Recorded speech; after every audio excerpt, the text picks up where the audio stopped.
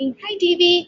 I wanted to make a short video um, to tell you where you can find the tech request form for this year.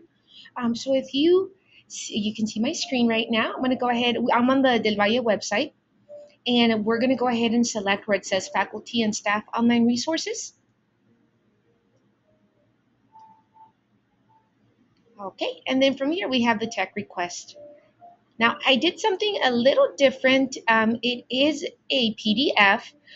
I did it because um, this PDF will be updated regularly, um, but you can also download it. Um, you can email it, and it has the hyperlinks on there. Um, of course, um, it is a live document, um, so I will be adding more links as the semester progresses. But we do have some really important ones already listed. For example, let me show you the tech request form. So it'll be the second one that you see here. Uh, looks real similar to what we had last year. Okay, so you can go ahead and fill out that information. Let me know what um, I can go ahead and help you with.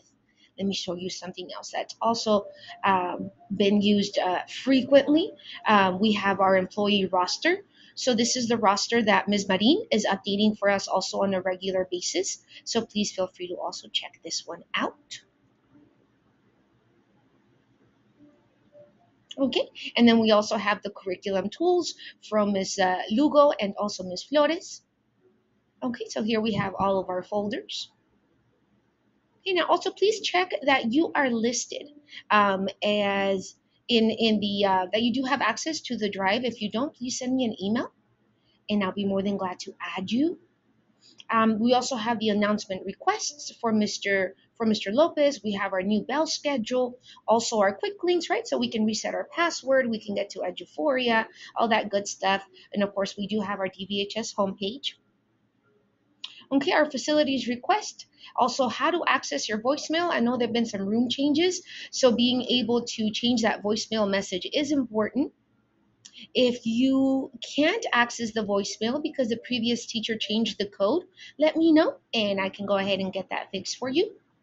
Okay, and then of course later on in the semester we'll be using our failure report, shared drive, um, and also our positive call folders um, also within that shared drive. Okay, so uh, please check it out. Let me know if you have any questions at all. Thank you so much. Remember, you can reach me at rdefrank at yisd.net, or you can also call me at 434 3144. Thank you.